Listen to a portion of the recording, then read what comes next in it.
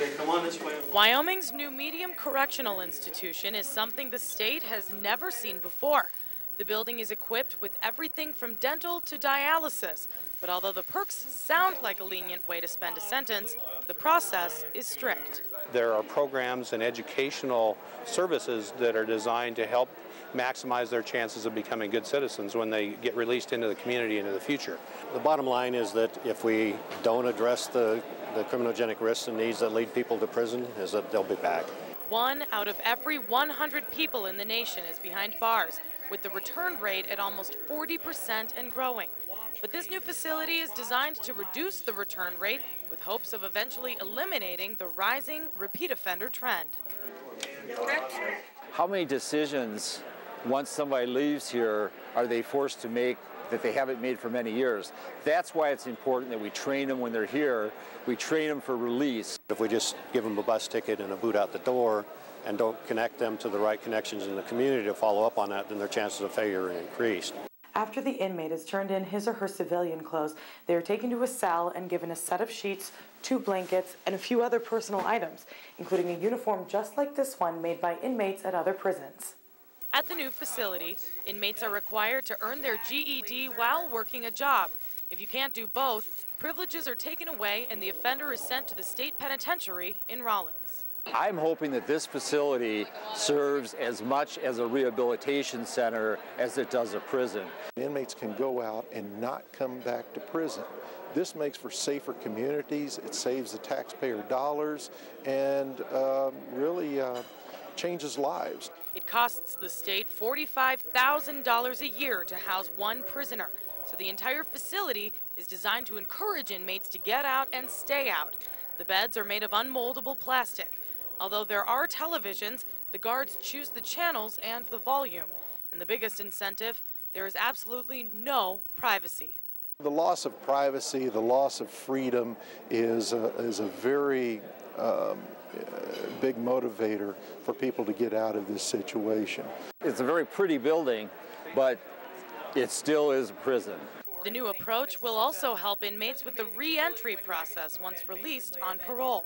When somebody leaves prison, they already have community contacts in regards to the to the kind of things that they need for aftercare. Every inmate will have a job lined up.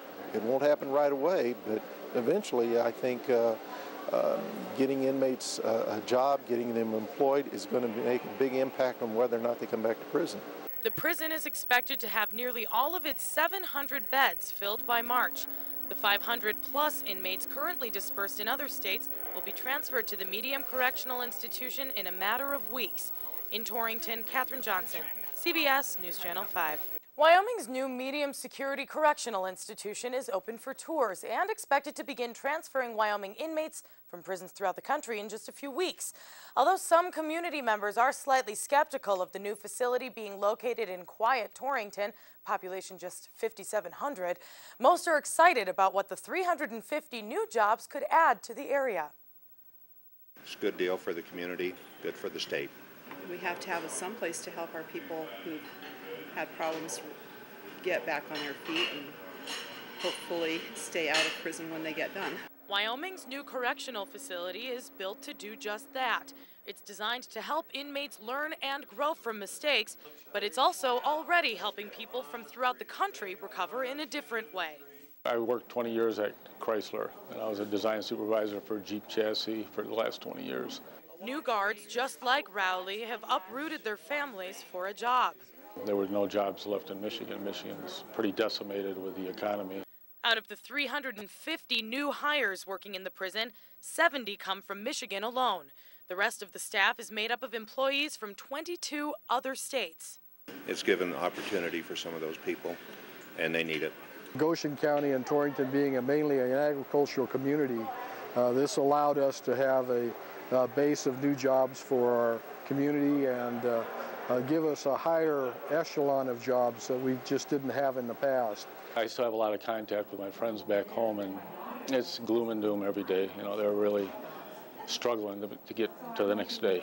You know, so this, this is nice. When other states are closing their doors to employees, Wyoming is still looking to hire. I was driving by one of the local hotels and I saw a little banner up there saying Wyoming, looking for you know jobs in Wyoming. Better than 40% of the population is over 55. And to see these young families coming into Torrington, that's also another boost for our community. Locals say although they're glad Wyoming is still creating jobs, the best part is some of the hires are local. Let's hope everything stays stable, maybe some growth. Emphasizing the desire for Torrington to keep its small town charm. Our community's been very stable for 30 years, so we need to have an influx in population in order to get the business growth that we need. It's good for people that live here and plus those that come in.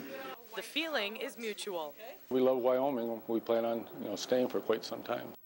Torrington Mayor Leroy Schaefer adds this influx should also help the community economically.